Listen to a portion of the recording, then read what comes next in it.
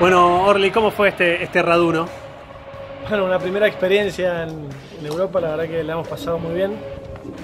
Siempre estar eh, rodeados de fierros y, y de gente con pasión respecto a los, a los fierros y a los autos es muy bueno.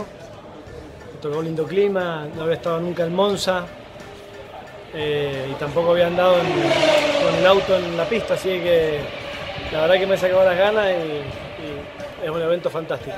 Bueno, tu primer Raduno entonces.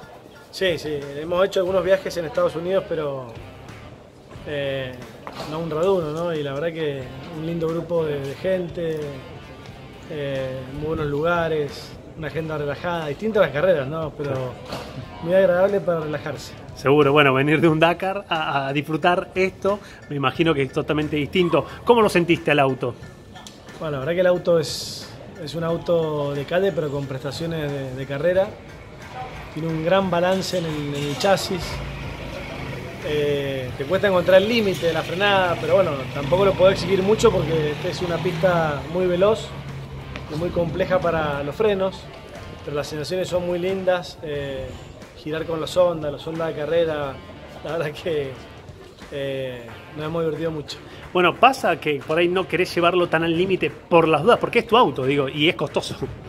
Bueno, sí, a ver, uno tiene que ser eh, responsable, ¿no? Es, es difícil encontrar el límite de la frenada. Sentís que te quedás corto, pero bueno, también si exigís mucho los frenos, a la segunda vuelta los frenos no son de carrera, entonces quedan muy blandos. Y hay que ir con cuidado, está una pista que no, no, no, no, tiene espacio para error, ¿no? Es muy angota, no hay escapatorias, pero hemos dado creo que 15 vueltas y la verdad que muy, muy bonita. ¿Te hizo alguna pregunta, Horacio? Vos como piloto profesional estás testeando de alguna manera su máquina. Bueno, estuve mucho con él recién, eh, le, le consulté, busqué tocarle un poquito los clics de la suspensión y preguntándole, la verdad que él está haciendo un Guaira de carrera y ese es un proyecto que me interesa sobre todo para, para divertirte ¿no? y en la pista, porque el límite de los, del Guaira, digamos, coupé en la pista está muy cerquita, pero es un tipo magnífico, muy normal, muy sencillo y con un conocimiento y una pasión única. ¿no?